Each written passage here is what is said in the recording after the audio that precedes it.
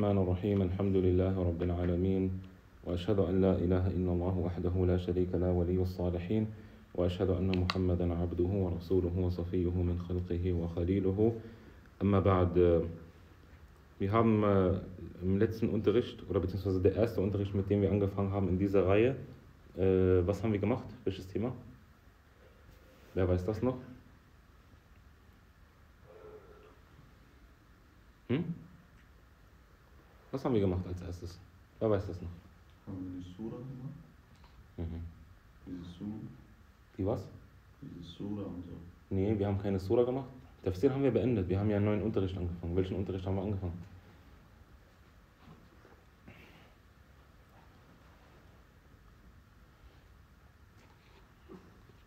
Hm? Wer weiß das noch?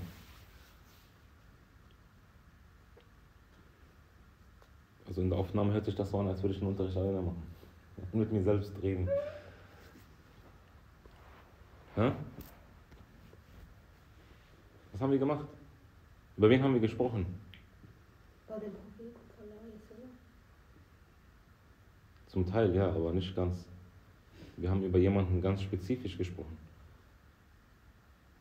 Über Abu Talib, Nein, aber Abu? Jahl, Nein. Abu Bakr? Abu Bakr, genau, sehr gut. Wir haben, also was, also was haben wir gemacht? Äh, die Geschichte von Abu Bakr. Die Geschichte von Abu Bakr. Das heißt, wir haben angefangen mit den Geschichten der Sahaba, radiallahu anhum wa ardahum. Und wir haben, äh, also der Unterricht ist halt so aufgebaut, dass wir kurz über die Person was sagen. Einige Informat wichtige Informationen, wie er heißt und so weiter und so fort. Ähm, und dann machen wir, was wir heute machen, inshallah, auch was sehr, sehr interessant wird, sind äh, sozusagen Lehren und Weisheiten aus seinem Leben. Das heißt, wir gehen verschiedene Stationen durch, erwähnen, was passiert ist ja, in, diesen, in dieser Geschichte und dann äh, äh, lernen wir daraus Lehren und wichtige Weisheiten für uns, äh, die wir aus dieser Geschichte lernen können. Okay? Abu Bakr, wie, hieß, wie heißt Abu Bakr? als, mit Spitzname, also was hat er für Spitznamen zum Beispiel bekommen? As-Siddiq. Sehr gut, As-Siddiq. Was heißt As-Siddiq? Der Wahrhaftige. Und wer hat ihm diesen Namen gegeben? Genau, sehr gut. Äh, Prophet Muhammad sallallahu alaihi wasallam, sehr gut. Und ähm, Abu Bakr, wir haben auch über seine körperliche Beschreibung gesprochen, das, haben, das findet ihr alles, was dann, ähm, dann im ersten Teil was wir dann äh, aufgenommen haben und äh, hochgeladen haben, könnt ihr dann auf YouTube dann äh, verfolgen, inshallah, und euch nochmal die Unterrichte nacharbeiten. Das ist sehr wichtig. Das heißt, ihr habt jetzt nicht auch keine Ausrede, weil ihr jetzt auch nichts zum Schreiben dabei habt, ähm, haben wir das, noch mal, das Ganze nochmal unterstützt, dass ihr die Aufnahmen nochmal hören könnt. Okay, wir machen inshallah nicht lange. Das erste, das erste oder die erste Station seiner, seiner, seines Lebens, die wir durchgehen werden, ist erstmal die, äh, seine Annahme des Islams. Also äh, in der Zeit, wo Abu Bakr radiallahu anhu den, den Islam angenommen hat. Und der- die besondere Eigenschaft von Abu Bakr war, äh, als der Prophet Muhammad sallallahu alaihi wasallam ihn aufgerufen hat zum Islam, ja, das heißt, wie, wie ihr hier zum Beispiel dann auch vielleicht in, inzwischen bei euren, euren Freunden oder eurer Umgebung oder den Nachbarn den Islam, sie zum Islam aufruft und sie über den Islam aufklärt, was ist der Islam. Abu Bakr war besonders eine Person, die den Islam sofort angenommen hat, ohne, ohne Widerstand, ohne Hartnäckigkeit, ohne Diskussion. Er hat den Islam sofort angenommen. Ja. Warum? Weil Abu Bakr radiallahu anh, war am nächsten zum Propheten Muhammad sallallahu alaihi wasallam und er wusste, dass der Prophet sallallahu alaihi wasallam kein Lügner ist.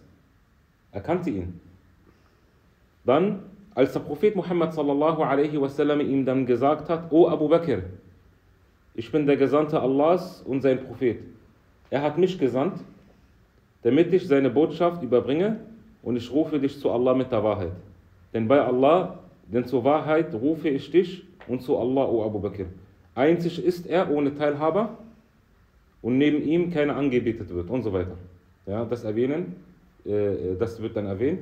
Und dann hat Abu Bakr radiallahu anh sofort den Islam angenommen. Als Abu Bakr, als der Prophet sallallahu alaihi wasallam zu ihm gesagt hat, O Abu Bakr, ich rufe dich zur Wahrheit und so weiter sinngemäß. Ähm, was lernen wir aus, diesen, aus dieser Situation? Was lernen wir? Wer weiß das? Vertrauen. Vertrauen. Also, vertrau, also er vertraut ja sein Best, also Sayyidina Muhammad als Islam und er hat halt sofort dann. Aber es muss nicht nur der beste Freund sein. Das ist eine sehr wichtige Angelegenheit, die wir gleich besprechen werden. Wo, zu was hat der Prophet sallallahu alaihi wasallam ihn aufgerufen? Zu irgendetwas? Islam. Zu. Zum Islam? Okay, und was ist der Islam? Die? Die Religion. Die Religion? Die? Die Wahrheit. Die Wahrheit. Daraus lernen wir, dass es dem Muslim niemals erlaubt ist, wenn zu ihm die Wahrheit kommt, dass er was? Lügt. Nicht nur lügt, dass er was? Ablehnt. Dass er sie sofort akzeptiert. Egal von wem. Egal von wem. Vor allem, wenn der Weg klar ist, wenn der Weg klar ist, darfst du niemals diesen, diesen Weg dann oder die Wahrheit dann ablehnen, wenn sie zu dir kommt. Ja? D- Warum? Weil Allah subhanahu wa ta'ala hat dir diese Gnade ge gegeben. Das ist ein Geschenk. Du hast die Wahrheit gehört, vielleicht andere haben die Wahrheit niemals gehört oder vielleicht erst später. Du hast die Wahrheit sehr früh gehört. Und wenn du dann jemand bist, der die Wahrheit von Anfang an gleich ablehnt beim ersten Mal, dann wird Allah subhanahu wa ta'ala beim zweiten Mal dich nicht recht leiten. Hört mal diese Ayah, was Allah Azza wa Jalla sagt. Allah sagt, وَنُقَلِّبُ أَفْئِدَتَهُمْ وَأَبْصَارَهُمْ كَمَا لَمْ يُؤْمِنُوا بِهِ أَوَّلَ مَرَّةٍ وَنَذَرَهُمْ فِي طُغْيَانِهِمْ يَعْمَهُونَ Hört mal diese Über- die Über sinngemäße Übersetzung. Und wir kehren ihre Herzen und ihr Augenlicht um, so wie sie, so wie sie das erste Mal, das erste Mal was? Nicht daran geglaubt haben. Zakaria, hast du gehört? Ja? Das heißt, Allah subhanahu wa ta'ala wird die Herzen verschließen dieser Person, wenn sie nicht beim ersten Mal gleich die Wahrheit Annehmen. annimmt und hartnäckig und hochmütig gegenüber die Wahrheit geworden ist, wenn sie ihm, was? Wenn sie ihm klar geworden ist. Habt ihr verstanden? Und Abu Bakr radiallahu anhu wurde mehrmals erfolgreich gemacht bezüglich, bezüglich was? Bezüglich, äh, bezüglich, in der, bezüglich der Wahrheit. Weil er sie beim ersten Mal sofort angenommen hat, hat Allah subhanahu wa ta'ala ihn dann was? Mehrmals gesegnet.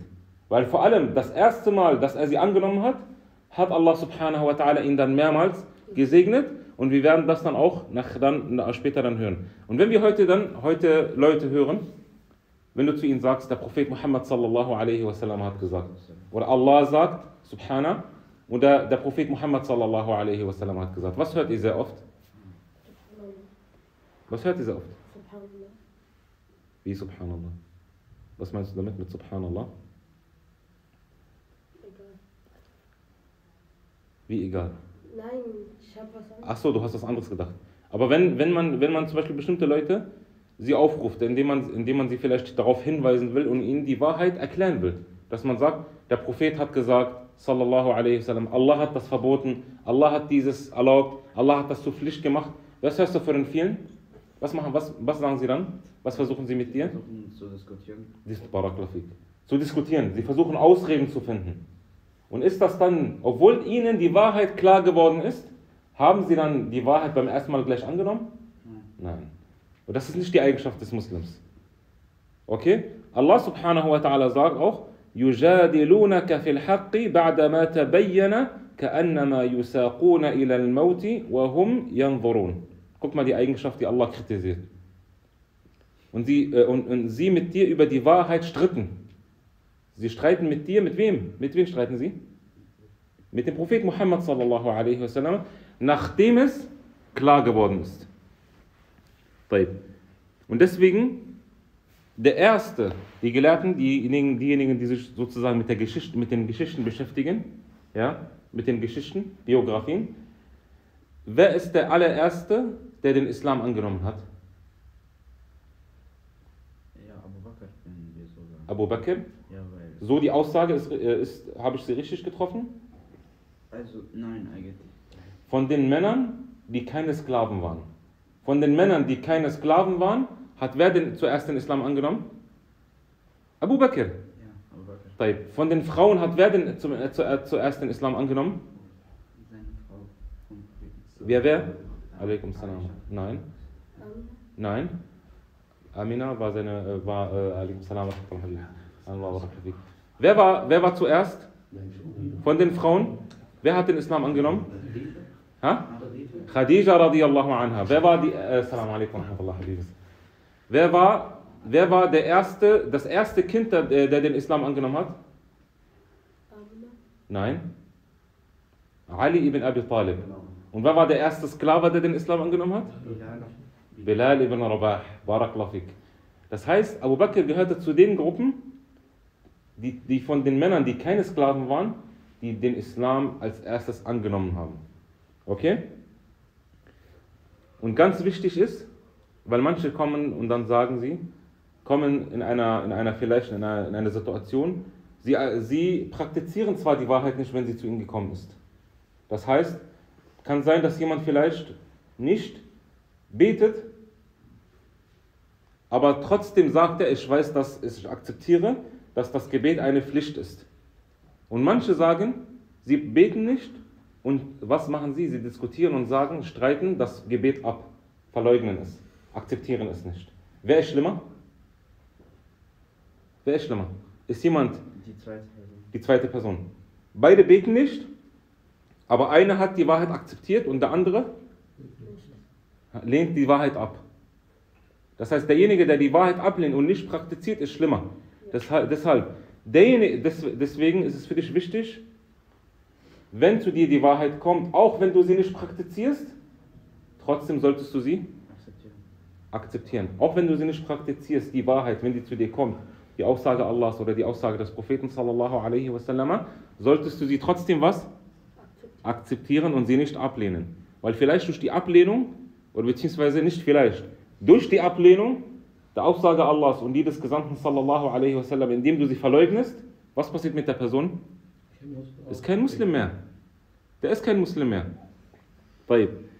Deswegen auch wenn die, auch wenn die, wenn die Wahrheit sogar von deinem eigenen Feind kommt, mit dem du Streit hast.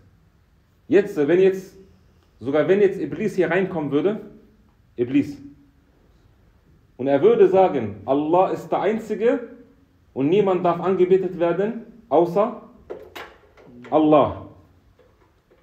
Diskutieren wir mit, äh, sagen wir, wir lehnen das ab, was er gesagt hat, oder akzeptieren wir die Wahrheit, auch wenn es Iblis ist? Wir akzeptieren trotzdem, auch wenn es Iblis ist.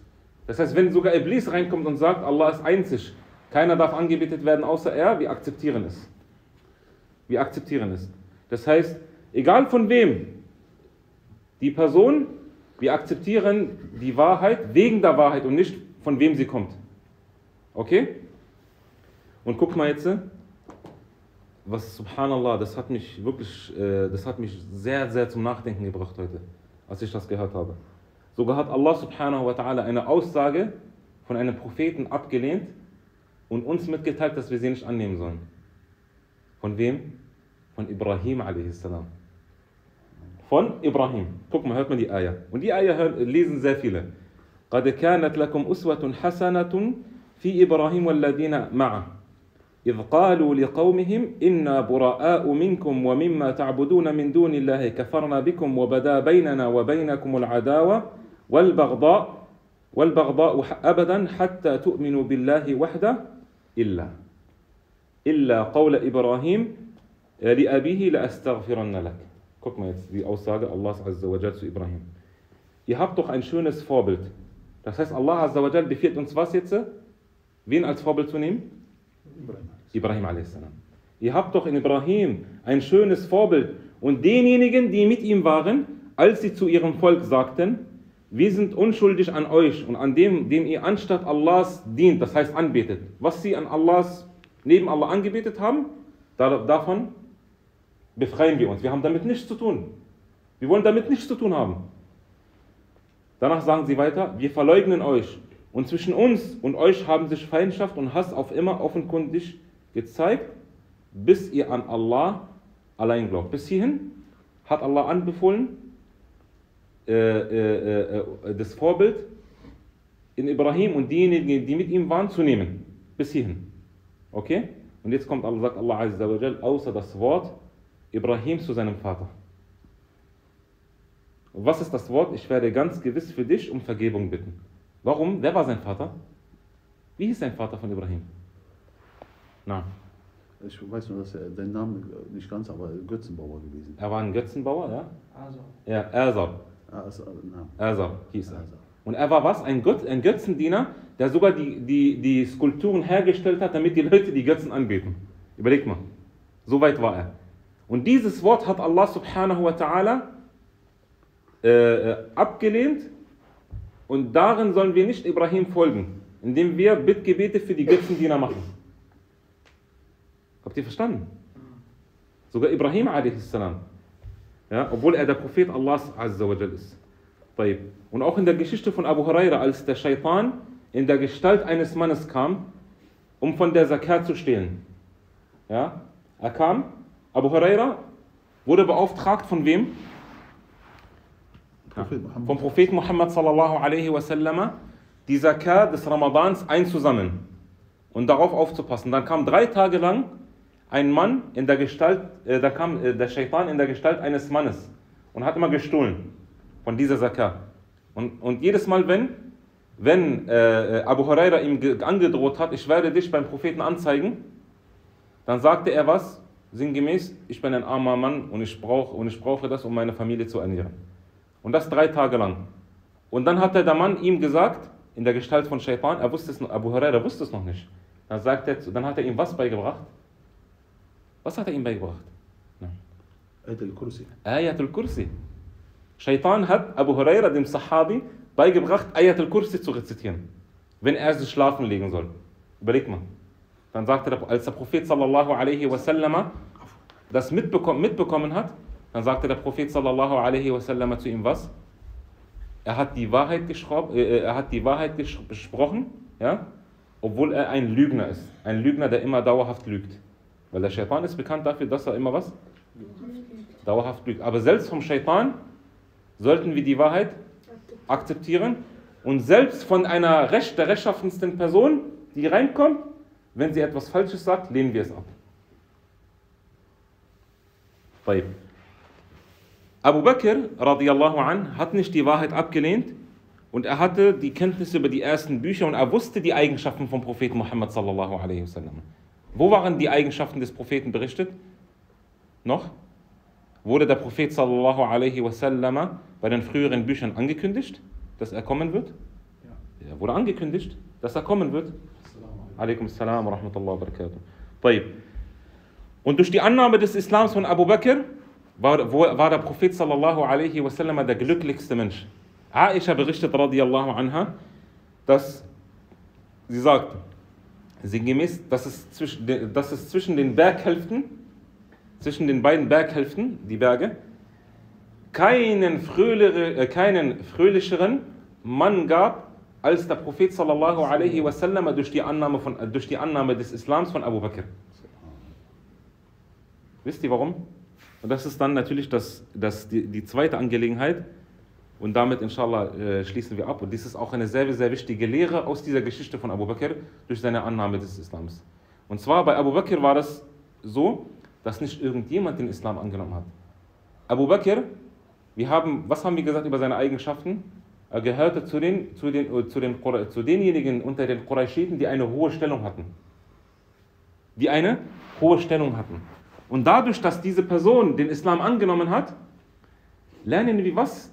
Äh, äh, welche Methode sollen wir in der Da'wah anwenden? Mit denjenigen Da'wah zu machen, die auch hohe Stellungen haben, finanzielle, äh, äh, eine finanzielle Stütze vielleicht nachher in der Da'wah sind.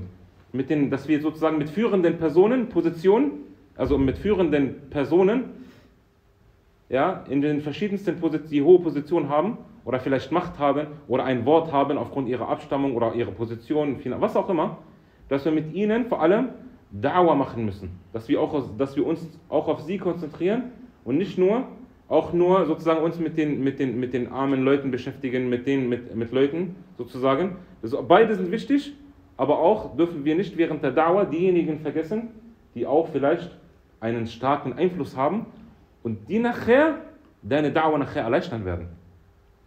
Habt ihr verstanden? Und das war auch durch Abu Bakr radiallahu an. Das war durch Abu Bakr radiallahu an. Und wenn vor allem diese Leute den Islam annehmen, was passiert auch vor allem? Was passiert automatisch? Sie haben viele Anhänger. Diese Anhänger werden es, werden erst recht leichter nachher den Islam annehmen.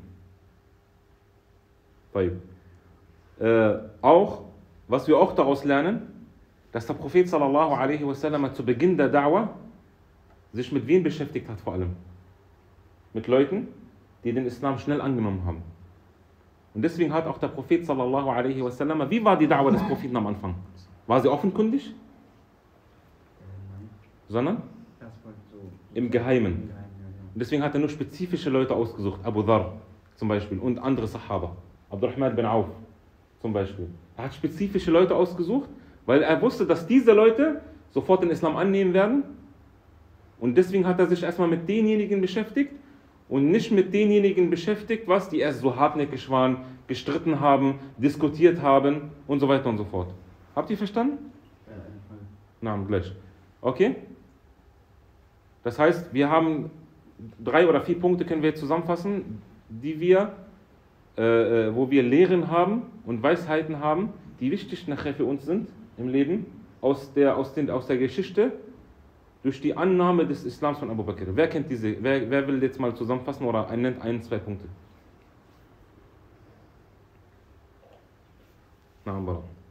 Ähm, also wenn ich den Islam, also wenn ich den Islam annehme, also ich weiß nicht, ob es jetzt auch mitzählt, haben wir auch gerade besprochen, wenn ich den Islam annehme und Sachen ablehne, dann ähm, trete ich aus dem Islam aus, aber wenn ich die Sachen ähm, annehme, aber nicht tue, Mhm. dann bin ich mal, muss aber machen. Mach das mal allgemeiner. Das ist Also- richtig, ist die richtige Richtung, aber mach das mal allgemeiner. Das war jetzt so ein bisschen spezifisch, aber ein bisschen allgemeiner. Ähm, Als der Prophet sallallahu alaihi wasallam ihn gerufen hat, Abu Bakr, er sagt, oh Abu Bakr, ich rufe dich. Als er ihn zum Islam aufgerufen hat, zu Allah Azza wa Jalla und zu seiner Religion. Was war der Islam? Islam ist die? Wahrheit. Die Wahrheit. Das heißt, wenn zu dir die Wahrheit. Wahrheit kommt, dann lehnst du nicht ab. Das war die erste Lehre, die wir haben. Du akzeptierst die Wahrheit und wichtig nachher auch, auch wenn du die Wahrheit selbst nicht praktizierst. Auch wenn du sie nicht praktizierst. Auch wenn du vielleicht nicht fünfmal am Tag betest. Besser, als wenn du die, als wenn du die Wahrheit, zum Beispiel das Gebet, ablehnst. Weil wenn du das ablehnst, dann ja, hast du die Tür zum zum Kufr, zum Unglauben auf, schon aufgemacht. Deswegen lieber akzeptieren, auch wenn es die Wahrheit ist. Auch wenn du sie nicht praktizierst. Und wir nehmen die Wahrheit an, auch wenn es von unserem größten Feind ist. Und wir lehnen die Falschheit ab, auch wenn es unser engster Freund ist. Okay? Was noch? Was haben wir noch für Lehren daraus aus der Geschichte durch die Annahme des Islams von Abu Bakr? Das ist nur die Annahme und wir haben schon, Alhamdulillah, guck mal, drei, vier Lehren und Weisheiten daraus. Was noch? Äh, dass Abu Bakr äh, sehr, sehr einen, großen Einfluss hatte und der hatte ja auch Anhänger und die wurden leichter zum Islam.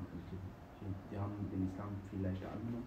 Okay, Abu Bakr hatte eine hohe Anstellung, äh, äh, hohe, hohes Ansehen aufgrund seiner Abstammung in, zwischen den Qurayshiten, aber auch finanziell. Das heißt, wenn du in der Da'wah finanzielle Unterstützung brauchst, Abu Bakr war da. Okay? Deswegen, deswegen ist wichtig, was ist wichtig in der Da'wah? Dass wir uns was, dass wir, dass wir was machen? Welche Methode anwenden in der Da'wah? Wie der Prophet sallallahu alaihi wasallam hier gemacht hat. Wara. Die Leute konvertieren, die äh, Einfluss haben und Geld. Genau, die Einfluss haben, Geld haben, Position haben, hohe Position einnehmen und nachher vielleicht eine gewaltige Unterstützung in, der, in deiner Da'wah sind und nachher ist deine Da'wah wird dann leichter. Verstehst du, was ich meine? Dass wir, äh, dass wir auch versuchen, deswegen auch, dass man die Weitsicht hat und äh, Weisheit besitzt, wie man in der Da'wah umgeht. Das ist eine, eine, ein, ein wichtiger Punkt. Was noch? Mhm. dass äh, Sayyidina Muhammad sozusagen ähm, äh, Leute, die nicht, die, wo er wusste, dass die den Islam einfach konvertieren, äh, erst gefragt Zuerst aufgerufen hat. Ja, Zuerst aufgerufen hat. Und nicht mit Leuten, die diskutieren. die diskutieren und, und hartnäckig, hartnäckig waren. Wer kennt zum Beispiel eine Geschichte wo Allah Azza wa Jal den Propheten sallallahu alaihi wasallam äh, sozusagen äh, darauf hingewiesen hat, während der Da'wah, die er gemacht hat, nicht mit bestimmten Leuten es zu machen, sondern mit jemand anderes. Ja. سو- الله ينعم عليك سورة ال- سورة العبسة Na, Surat Abasa. Was, ist, war die, was war der Hintergrund dieser Geschichte? dass, äh, äh, dass Abdullah ibn Ummi Maktum, das war ein blinder Sahabi. Ein blinder Sahabi. Okay? Und dieser blinde Sahabi, da war was? Er war, was war seine Eigenschaft? Er war der, der, der, der, der, der Gebetsrufer des Propheten Muhammad sallallahu alaihi wasallam. Er war Muaddin. Und der Prophet sallallahu alaihi wasallam hat mit, was? Mit wem Da'wah gemacht in, dieser, in diesem Moment? Mit Mushrikin, hartnäckige Götzendiener aus Quraysh. Und dann, hat, dann kam Abdullah ibn Ummi Maktum, der wollte was vom Propheten sallallahu alaihi wasallam sozusagen Wissen haben, Wissen erlangen. Dann hat der Prophet sallallahu alaihi wasallam was gemacht? Sich abgewendet und sich mit wem die Da'wah gemacht? Mit den Mushrikin, die hartnäckig diskutiert haben. Und dann hat Allah Azza wa gesagt, und dann hat Allah subhanahu wa ta'ala ihn darauf hingewiesen, dass das besser wäre mit Abdullah ibn Ummi Maktum, derjenige, der den Islam, beziehungsweise der, der eher die Wahrheit akzeptieren möchte, mit ihm zuerst Dauer zu machen. Stört das jemand? Okay? Habt ihr verstanden? Noch eine letzte Frage, inshallah, und dann beenden wir. Was ist die Definition von einem Sahabe, weil wir jetzt Abdullah ibn Ummi Maktum genannt haben? Wer weiß, woher weiß ich, das sind die Merkmale und das, sind das ist dann ein Sahabi. Welche Bedingungen müssen eintreffen? Jeder kann eine nennen. Na. Der, der den Propheten Muhammad gesehen hat und hat den Islam angenommen. Und wenn das nur eine Okay. Sekunde war. Okay, gesehen hat? Was noch? Islam. Ist äh, an ihm? Islam. Genau, er hat den Islam angenommen, das heißt, er hat den Propheten geglaubt und dann drittens, er ist damit gestorben. Okay. Du hast jetzt äh, eine Sache genannt. Muslim gestorben, Allah. Genau, Ja, genau. genau. Du hast jetzt eine Sache genannt, den Islam angenommen. Äh, Entschuldigung, äh, den Propheten gesehen haben. Den Propheten gesehen haben. Abdullah ibn Ummi Maktum war aber was? War blind. Das heißt, was sagen wir, was ist die bessere, das ist zwar richtig eine, eine Ansicht der Gelehrten, die sagen, der den Allgemein. Propheten gesehen hat. Aber was ist die bessere Definition? Der den Propheten? Äh, Gefolgt hat. Das heißt, er hat den Islam angenommen und hat dann den Nee, Propheten- Gehört? nee, nicht gehört. Der den Propheten? Getroffen hat. Begegnet ist. Ma- So meine ich auch. Ja, genau. äh, Be- Dann habe ich falsch verstanden. Schöner gesagt. Ja, nee, nee. Begegnet ist. Weil Abdullah ibn Ummi Maktum war was? War blind. Er konnte den Propheten sallallahu alaihi wasallam nicht sehen. Deswegen ist die bessere Definition für einen Sahabi was? Jamil. Getroffen hat. begegnet hat, getroffen hat. Das heißt, dann würden wir auch alle Sahaba mit reinnehmen, die auch blind waren. Das heißt, getroffen, er muss ihn getroffen haben, er muss den Islam angenommen haben, an ihn geglaubt haben und dann gestorben. und dann damit gestorben. Okay, heißt es, diejenigen, die in der Zeit des Propheten sallallahu alaihi wasallam gelebt haben, ihn aber nicht nie getroffen haben, sind die auch Sahaba? Sicher. Sicher? Ja. Okay, sehr gut. Okay, und was ist mit den Kindern? Weil die noch nicht die Reife erreicht haben? Das heißt, die Kinder in der Zeit des Propheten sallallahu alaihi wasallam. Jugendliche, die noch nicht die Reife erreicht haben, aber den Propheten getroffen haben. Sind das auch Sahaba? Wenn sie mit dem Islam, glaube ich, gestorben sind, das Sahaba? denke ich schon. Sicher. Was machst du mit Al-Hassan und Al-Hussein? Ja, genau, die waren ja auch alle jung. Das sind Sahaba. Ja, sind Sahaba. Okay? Deswegen, das sind, das, das sind nochmal, wer kann nochmal die drei Bedingungen wiederholen? Eine, jeder nennt eine. Wer kann die drei Bedingungen? Woher weiß ich, das ist ein Sahabi, das ist kein Sahabi? An, an, Anas? Wenn man ihn getroffen hat, Okay, erstens. Zweitens? Hm? Wenn man dann den Islam angenommen hat, Ja. Also ihn an ihn geglaubt hat und Und damit gestorben ist. damit gestorben ist. Und Okay. das, gilt, äh, das gilt auch für jeden. Das Also, gilt für jeden, egal wer das ist. Das, das ist äh. Aber es gibt natürlich manche auch, die zum Beispiel danach, nach dem, nach dem, nach dem Tod des Propheten sallallahu alaihi wasallam, ähm, da gibt es noch spezifische äh, Angelegenheiten, die zum Beispiel den Propheten sallallahu alaihi wasallam erst getroffen haben bei der Janaza. Ist ein Sahabi oder ist er kein Sahabi zum Beispiel? Oder zum Beispiel, die nach dem, nach dem Tod des Propheten sallallahu alaihi wasallam wieder vom Islam abgefallen sind und wieder den Islam angenommen haben. Sind das auch Sahaba? Zum Beispiel. Ja, das ist nochmal, aber das, ist, das reicht erstmal hier bei ta'ala. Barakallahu. سبحانك اللهم وبحمدك أشهد أن لا إله إلا أنت أستغفرك وأتوب إليك.